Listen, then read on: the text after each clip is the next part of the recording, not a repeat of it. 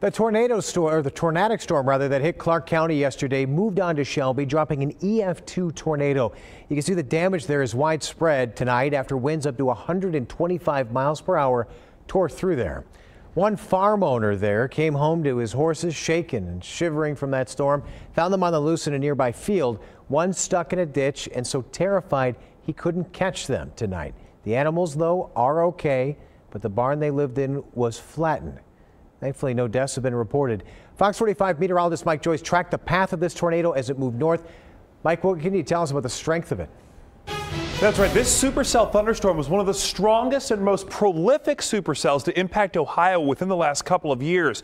It developed in Montgomery County just before 3 o'clock, and here it is at 3 o'clock yesterday when it was just about to become tornado warned in Clark County. Here's 3.15 p.m. There's the tornado warning. We can see the hook on this cell right as it's dropping that EF0 tornado uh, just northwest of Springfield, then moving into portions of Champaign County, still with that signature hook echo on the radar, and this is at 3:35 p.m. Then 90 miles away, in almost just over an hour, that storm makes a haul through Marion, Ohio toward Shelby, which is in northern Richland County, north of Mansfield, about five miles north of the OSU Mansfield campus there.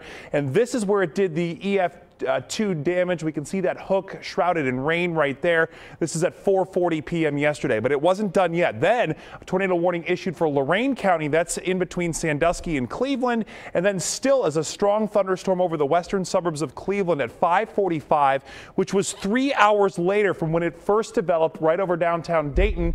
It traveled 160 miles in those three hours. An absolutely incredible storm that did drop two tornadoes across the state.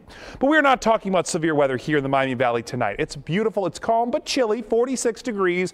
The wind out of the south southwest at 6 miles per hour. Not much moisture in the air right now. Our hour by hour forecast tomorrow is rather pleasant but cool in the morning. 41 degrees at 8 a.m. Sunrise at 6:58. 58 degrees at 10 a.m. turns into 67 at noon. But the wind tomorrow cranking up in the afternoon, especially between noon and noon and 4.